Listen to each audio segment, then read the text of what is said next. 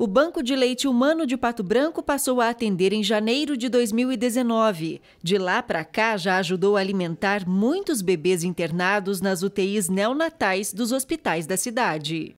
O leite ele é considerado padrão ouro porque ele tem anticorpos que são transmitidos e vão fazer com que a criança vá desenvolvendo imunidade e também desenvolvendo o seu trato digestivo para que futuramente consigamos é, introduzir novos alimentos e ela esteja preparada para recebê-los. É como se fosse uma primeira vacina.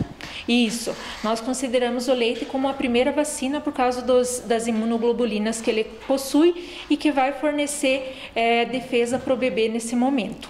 A coordenadora do Banco de Leite explica que nesse momento há um bom número de doações, mas é claro, toda ajuda é bem-vinda. A equipe está preparada para repassar todas as orientações para quem deseja se tornar doadora. Nós fornecemos o material, o frasco já estéreo, o panfleto com as orientações, também fazemos a orientação verbal, né, de como ela vai fazer todo o procedimento, fornecemos a touca e pedimos para ela usar máscara, né, para a hora da coleta, para que a gente garanta a qualidade microbiológica desse leite. Uma pré-avaliação é realizada antes da primeira doação. Nessa ficha nós vamos fazer uma entrevista é, pedindo a respeito de uso de cigarro, de drogas, de bebida alcoólica e de alguns medicamentos que são incompatíveis com a, a doação.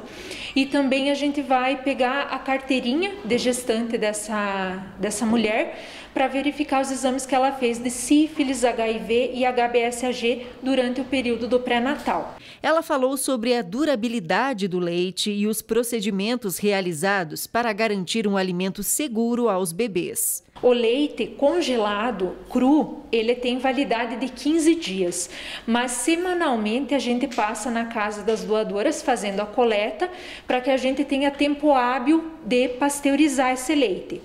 Depois de pasteurizado, ele passa a ter uma validade de seis meses.